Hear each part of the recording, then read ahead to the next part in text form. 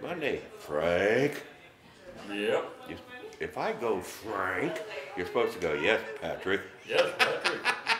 Oh boy, do I have him trained. Good morning, Frank. Good morning, Patrick. Well, it was a beautiful, beautiful, beautiful weekend. I mean, weather-wise, and and uh, just Easter Sunday was so beautiful. And but also, you know, wow, it's I mean, and then it was Sunday. Yeah, and he's he's been risen, but man, oh man, it was fantastic. Um, was leading me thinking yesterday just about you know hey it's so what god has done for us is so amazing but now what are we going to do and we you know we say this probably every year yeah well you know what we, we it's it's time to really at not especially my age but wow at your age frank you know, it, it's just um, God's been unbelievably merciful. I, I just want to read from Ezra. That's kind of odd that he would lead me there, but he did yesterday, and and and uh, Ezra seven and eight says, "Since the days of our fathers, we have been exceedingly guilty." And for our willful, willfulness, we, our kings and our priests, have been delivered into the hands of the kings of the lands, to the sword, the captivity, the plundering and utter shame, just as it is today. But now, and for a brief moment, grace has been showed us, has been showed, grace has been shown to us by the Lord our God who has left us a remnant to escape and has given us a secure hold in his holy place, that our God may brighten our eyes and give us a little reviving in our bondage. Happy day, Nadia. We Safe love travels. you. That our God may brighten our eyes and give us a little reviving in our bondage. Well, we're held captive to sin to some degree.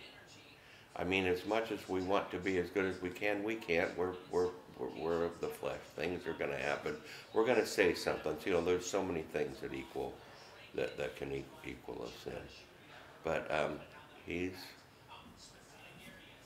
always held that out for us and gives, always gives us the opportunity in, in, in any moment, at any time, in any part of the day you know, but the other thing is, though, we have to say, oh God, I, I've sinned, please forgive me. And it's there. His mercy, His grace, it's right there. Frank, Yes, Patrick. anything you want to say to that? I like the sound of that little, a little reviving. Airways daily. Uh, yeah, I, you, you go along and, and Is, let me ask you, and I don't mean to interrupt you, you. yeah. Would you think that that little reviving could be the renewing, revive and renew, renew your mind?